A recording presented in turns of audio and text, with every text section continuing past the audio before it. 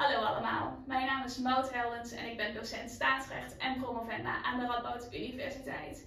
Hier doe ik onderzoek naar de grondwettelijke beperkingssystematiek, oftewel de voorwaarden waaronder grondrechten beperkt mogen worden. Het zit namelijk zo, in Nederland kennen we een normenhiërarchie wat zoveel wil zeggen als dat lagere normen in overeenstemming moeten zijn met hogere normen. De rechter mag dat ook controleren, maar daar is één uitzondering op.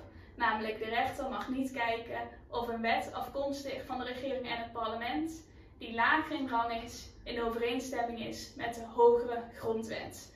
Dat is nu aan het oordeel van de wetgever. Nou, de politiek is aan het kijken of ze dat toch willen aanpassen en of ze het mogelijk willen maken dat de rechter die wet wel mag toetsen aan bepaalde grondrechten van de grondwet.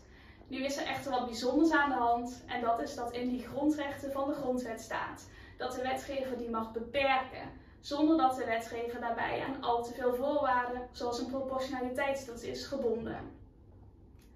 Hoewel de politiek dus die toetsingsbevoegdheid mogelijk aan de rechter wil toekennen, wordt er weinig aandacht besteed aan het antwoord op de vraag wanneer zo'n wet nou in strijd kan worden geacht met die hogere grondwet. De ontwikkeling van zo'n materieel toetsingskader staat centraal in mijn scriptie en nu ook in mijn promotieonderzoek onder leiding van Hans Broeksteeg en Michiel van Emmerik.